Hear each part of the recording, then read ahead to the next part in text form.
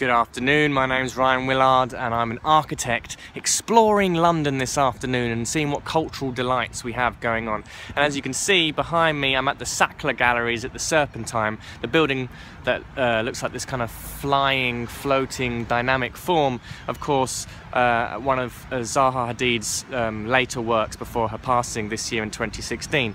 And the exhibition that we've got here that's on at the moment is of her early works, predating her first built work, which was in 1993, the Vitra Fire Station. And these paintings explore her uh, her architectural imagination. They go into a lot of depth where she was looking at the relationship between architecture, geology, uh, landscape, all these kind of spatial dynamics, and they, you know they're an incredible set of paintings. You know they're they're huge. Some of them are the size of walls. They're like three-dimensional Kandinsky paintings. They really kind of draw you in. They're full of movement. They're very kind of you know technical technical accomplishments in themselves. They're beautiful um, in their movement uh, and their kind of spatial arrangements and the you can see how just through drawing and painting as a design tool she's really kind of started to carve out a piece of sculpture uh, in these paintings. They've got a very musical quality to them. You look at them, they look like a kind of,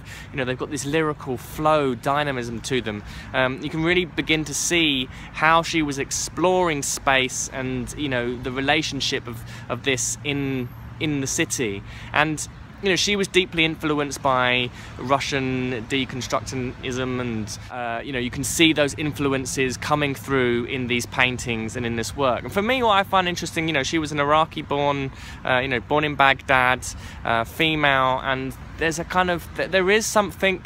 Um, Arabic. There is something Islamic about these about these paintings. They've got this musicality to them. They've got this cursive like script. You know, for me, I kind of draw you know, that kind of beautiful script that you see, the, you know, the kind of uh, covering mosques and, you know, denoting the Quran, that kind of you know, it's captivating and I, it's that fluidness, that movement um, is here in all of her spatial explorations. So it's a really incredible exhibition. Uh, I highly, highly recommend it if you're in London. There's some very powerful paintings here. You get to see her sketchbooks and some of the workings and some how she's kind of thinking through ideas. And all of these paintings are from competition entries from the Hong Kong Peak.